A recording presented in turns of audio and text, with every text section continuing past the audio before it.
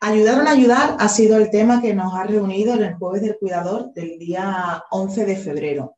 Como hubo problemas técnicos durante la, reunión, hemos decidido explicar los contenidos que se trataron de forma resumida en esta presentación. Cuando nos planteamos ayudar o no ayudar, lo primero que tenemos que tener en cuenta es que está enfocado a personas que tienen en fase inicial, bien que tengan deterioro cognitivo leve o en la fase inicial del Alzheimer u otro tipo de demencia. Y lo que suele suceder es que cuando reciben el diagnóstico en la consulta de neurología, suele haber una tendencia a empezar a hacer cambios de forma muy brusca. Y tenemos que tener en cuenta que la persona que ha salido de la consulta de neurología es la misma persona que la que entró. Es decir, los cambios no deben de hacerse de forma brusca porque ya tengamos la etiqueta del nombre de la, de la, enfermedad o del problema que estemos presentando y que nos haya llevado a consulta. Es la misma persona. Con lo cual los cambios deben de hacerse progresivos, deben hacerse de forma gradual y conforme a, sea, a que sean necesarios. Es habitual que cuando nos pongan el nombre de deterioro cognitivo leve o de Alzheimer, pues lo que es en la asimilación del diagnóstico lo percibamos todo como un proceso de pérdida, ¿no? Es la pérdida de capacidades mm, intelectuales, capacidades funcionales, va a perder también la autonomía, va a requerir más ayuda a la hora de desempeñar algunas tareas y va a ser labor nuestra intentar facilitarle la vida. En muchas ocasiones hay cambios en la personalidad, nos encontramos que no es la misma persona con la que nos casamos o que ya no es el padre o la madre en la que confiamos y le entregamos a nuestros hijos para que lo cuidaran. Se produce un cierto desaprendizaje, pero este proceso de pérdida es progresivo, poco a poco. Entonces nosotros lo que tenemos que intentar hacer es ayudarles para que puedan entender el nuevo mundo que se va a abrir entre ellos que va a necesitar unas nuevas herramientas, pero lo vamos a hacer de forma muy normalizada, sin que el diagnóstico se convierta en un antes y un después. Para poder ayudar tenemos que aprender a ayudar.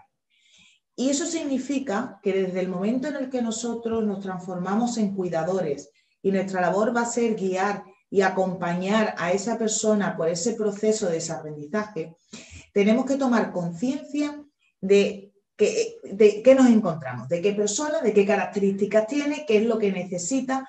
Y el principio sobre todo va a ser el ayuda del aquí y del ahora, respetando las decisiones de, la persona, intentando darle la mayor autonomía posible, de dejarle hacerle todo aquello que quiera y que pueda hacer todavía. En ocasiones nosotros nos podemos encontrar con el deseo de, ayudar más de la cuenta. Y eso lo que hace es que eh, a la persona le puede producir alteraciones conductuales como cabreos, ansiedad, frustración. Eh, imaginaros, por ejemplo, una conversación con, paseando con una persona y nosotros vemos que nuestro, nuestro familiar, pues en ese momento no es capaz de terminar de contestar a la pregunta que se le ha hecho. Sería bueno darle tiempo a que responda esa persona. Y muchas veces porque nos dan apuro, por querer protegerlo o por querer eh, aligerar la situación, porque en realidad nos está preocupando a nosotros una tensión, nos está generando angustia, terminamos nosotros por contestar sin darle la oportunidad que nuestro familiar conteste. Esa contestación pues no ayuda para nada a ese familiar porque pierde, deja de ser digno, digamos, de esa confianza. Entonces vamos a tener que aprender a ayudar. Para ello vamos a aplicar la técnica del andamiaje. La técnica del andamiaje consiste en dar ayuda en el momento justo que la necesite, pero es un solo apoyo. Iremos apoyando y ayudando más en función de la demanda que nosotros percibamos del entorno. Pero nada de hacerlo todo por esa persona.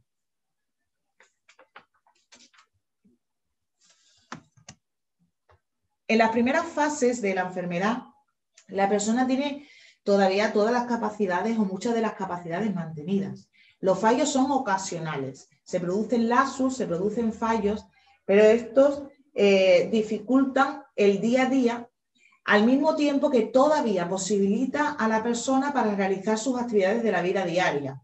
Con lo cual, tenemos que ayudarles de forma enmascarada, que no se perciba que estamos ayudando es una supervisión a distancia. Tenemos que dejar hacer sus actividades y estando en retaguardia, en un segundo plano, verificar si se están realizando correctamente. En casos necesarios, pues corregiremos algunos de los errores que se presenten. Tampoco serán corregidos todos los errores, porque si estamos continuamente subsanando error, podemos encontrarnos con una reacción adversa, que puede ser desde que la persona se queda bloqueada y no quiere realizar las cosas por miedo a errar, o que la persona se enfade porque la están supervisando y es una persona adulta con autonomía y cree que debe dejarse sola. Entonces vamos a intentar hacerlo con un doble rasero que decíamos nosotros, ¿no? Vamos a vigilar pero de forma disimulada. En ocasiones los errores que se cometan, pues podemos ser nosotros los protagonistas de ese error y decir que hemos sido nosotros los que hemos cometido el error o, quitarle importancia, todo el mundo se equivoca, no te preocupes y cosas de ese estilo. Em, ¿Qué sucede? Pues que hay personas que no son conscientes de sus limitaciones, no son conscientes de sus errores, es lo que se llama como anosognosia, y la familia eh, utiliza esos errores y esas limitaciones para intentar hacerle ver que está enfermo. Utiliza esos fallos para explicarle una y otra vez las limitaciones y justificar lo que viene a ser pues que no salga o que no haga o que deje de hacer. Lo que suele suceder es que en lugar de encontrarnos una colaboración, la familia lo que se encuentra son nuevas alteraciones conductuales. La persona se enfada, se enfada, mayor irritabilidad porque la están corrigiendo. Entonces hay que tener en cuenta las características de la personalidad de nuestro familiar. Y a veces, y la mayoría de las veces, el justificar nuestra intervención porque esa persona ya no puede hacer algo, no le beneficia. ¿Vale? No le beneficia, le cabrea. Y si estamos hablando de una persona que tiene la depresión, el hacerle consciente del fallo que ha tenido, precisamente lo que va a hacer es que la persona se va a venir abajo y tampoco le va a beneficiar porque tampoco vamos a conseguir que la persona haga o que mejore. Tenemos que tener en cuenta que si falla es porque su enfermedad no le permite hacerlo de otra forma. ¿vale? No tiene esa intencionalidad que a veces nosotros creemos. Una de las primeras capacidades que se ven limitadas con, este tipo de, de patologías es precisamente la función ejecutiva. Es la capacidad que nos permite a nosotros ajustar nuestro cerebro y nuestros eh, comportamientos. Es la capacidad que nos ayuda a frenar una conducta, a cambiarla cuando algo se está funcionando, a empezar, a terminar y a manejar. Tiene que ver con ordenar, tiene que ver con tomar decisiones o, por ejemplo, con tener iniciativa. ¿Qué sucede? Que la función ejecutiva es la capacidad que se ve alterada en los inicios. Y sucede que en ocasiones hay ciertos comportamientos que ya se ven alterados y que nosotros hemos adquirido durante la vida y ya lo realizamos de forma muy automática. Con lo cual, cuando se nos diagnostica un tipo de deterioro cognitivo, las funciones ejecutivas van a imposibilitar que cambiemos ciertas conductas automáticas. Es, por ejemplo, el hecho de conducir. A la hora de conducir, nosotros aceleramos, cambiamos de marcha y ya lo vamos haciendo pues de una forma totalmente automatizada sin tener en cuenta de lo que estamos haciendo. Pero en el hecho de conducir no solamente es llevar el coche, puede producirse incidencias como que una calle esté cortada, como que se nos cruce un peatón, como que de repente pues cambie la dirección y eso conlleva a tomar decisiones y el tiempo de reacción de esta persona está alterado. Por eso es importante, por ejemplo, este tipo de conductas sí e intentar evitarlas y dejar de hacerlas lo antes posible. De forma progresiva, pero intentar buscar su supresión. Tiene que ver también con el manejo de máquinas peligrosas o puede ser, por ejemplo, también el uso del fuego. ¿Cómo se hace esto? No se hace de la noche a la mañana, yo te voy a quitar el carnet, pero sí podríamos decir a esa persona eh, pues invitarla a que sea otro el conductor, que se monte con un hijo, que se monte con una hija, que vamos a dar un paseo que es mejor y progresivamente hacer que esa persona tenga menos la necesidad de conducir. En otras ocasiones funciona que, si se le caduca el carnet, pues no irla a renovar o que el coche se estropee, o que se pierdan las llaves, o que sea una figura de autoridad, como por ejemplo la policía o las normas de tráfico, o algo así que nosotros nos inventemos, quien eh, obligue a la persona a dejar de conducir. Es importante porque estamos hablando de, de comportamientos que hay que erradicar siempre y cuando pongan en juego la seguridad y vida de esa persona o de otras personas. Ese sería el, el criterio o el requisito para dejar de hacer una acción rápida. ¿Vale? Dejamos de conducir porque eso puede suponer un accidente que puede provocar algún destrozo bastante importante. Pues por eso lo, lo radicamos e invitamos a la gente a hacerlo. Esto significa que el familiar también tiene que asumir que esta persona tiene que dejar de conducir. En ocasiones nos encontramos que, como ha conducido toda la vida, eh, por ejemplo, en el caso de un marido que ha conducido toda la vida, esta cita sabe muy bien, eh, no hay problema, porque para mí es más cómodo ir en coche a ver a mis hijos o porque tal. Entonces tenemos que tener en cuenta que a veces no solo es que la persona no quiera dejar de conducir, es que a veces a nosotros no nos conviene que esa persona deje de conducir. Por tanto, ser por favor con esto muy conscientes y muy justos en la medida de lo posible, ¿vale? Que el conducir no solamente llevar el coche y cuando diagnostica de esto hay que supervisar primero cómo se está haciendo y poquito a poco ir abandonando esta pauta. Lo mismo sucede o algo parecido sucede con el dinero. Eh, el dinero es algo que también conlleva mucho control y tiene mucho que ver también con la función ejecutiva de planificación, de gestión. También se ve alterada en los primeros momentos. Y es algo que nosotros tenemos que empezar a supervisar, si este manejo del dinero se está haciendo bien o no, por dos fines. Uno es por proteger a la persona. Proteger a la persona de posibles fraudes, de posibles gastos innecesarios, de pérdidas no intencionadas, saco dinero, no sé dónde lo he guardado y después tal. Y protegerlo también pues del entorno, ¿no? De, que si se sabe que no sabe manejar, pues siempre puede haber alguna persona avispada que se quiera aprovechar de ella. En casos necesarios para, para, poder proteger a esta persona, también tenemos que utilizar algún mecanismo o algún asesoramiento profesional. Tenemos también un equipo de, abogados que nos pueden asesorar qué mecanismos existen y cómo se puede eh, proteger a la persona desde el punto de vista económico. Pero hay que tener en cuenta que esta retirada del manejo del dinero hay que hacerlo con muchísimo respeto, pues no manejar dinero a veces supone un gran cambio en la forma de vida para la persona y en el autoconcepto de la persona. Nosotros desde que somos adultos empezamos a trabajar, empezamos a ganar dinero y tener dinero y manejarlo y controlarlo forma parte también de nuestro propio ser, ¿no? Nos hace, nos hace ser lo que somos. Nos sentimos porque importantes, nos sentimos útiles porque somos capaces de producir. Cuando nosotros le estamos diciendo a una persona que ya no maneje dinero, le estamos diciendo que no son útiles o se pueden sentir que no son útiles. Por eso hay que hacerlo de forma muy sutil. Y eh, tampoco hay que hacerlo de forma brusca y gradual, sino gradualmente como por ejemplo, pues utilizar eh, billetes más pequeños, que tengan menos valor, con lo cual en caso de que se produzca un error, eh, siempre va a ser más, más leve.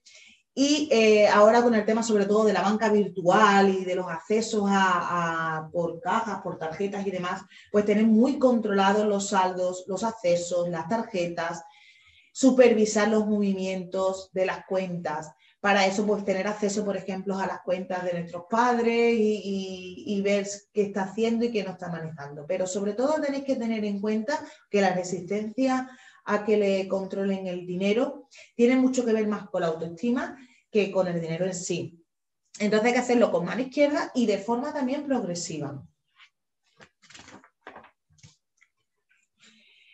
Y en todos los mecanismos de ayuda que estamos diciendo hasta ahora, lo importante es ayudar pero ayudando a la persona a, a seguir siendo útil, a seguir haciendo actividades, que la persona sea capaz de manejarse por sí misma. Para esto nosotros intentaremos crear espacios seguros. Simplificaremos la decoración de la casa, por ejemplo, o le acercaremos diferentes tareas. Imaginaros en el caso de una ama de casa y la cocina. Pues a lo mejor para seguir cocinando, nosotros le tendremos que acercar los ingredientes, eh, o simplemente ponernos con esa persona mientras cocina para supervisar que lo hace bien. También podemos cambiar la dieta. En lugar de hacer eh, una comida caliente, si tememos que, por ejemplo, deje la cocina encendida, pues podemos apostar por hacer comidas frías como ensaladas. Sigue haciendo su actividad, pero no se pone en peligro su seguridad. Y eso es un poco porque cuando la persona realiza la actividad, se sigue siendo útil mejora su autoestima, mejora su estado de ánimo y se previene otras patologías asociadas como puede ser la ansiedad, la depresión, la apatía, la tristeza. Cuando la persona es capaz de realizar, siente eh, muchísimo que lo hace bien. Para corregir sobre todo los problemas estos de apatía que en ocasiones aparecen, simplemente con hacer instrucciones continuas acerca de lo que tiene que hacer le puede valer. Supervisarlo animándole a realizar, a, realizar cosas. Pero estas instrucciones no deben de ser órdenes directas ni continuas una y otra vez, que la persona lo vea como un agobio, ¿vale? Sino más bien como propuestas, para que la persona a la misma vez que está recibiendo las instrucciones se sienta bien y protegida.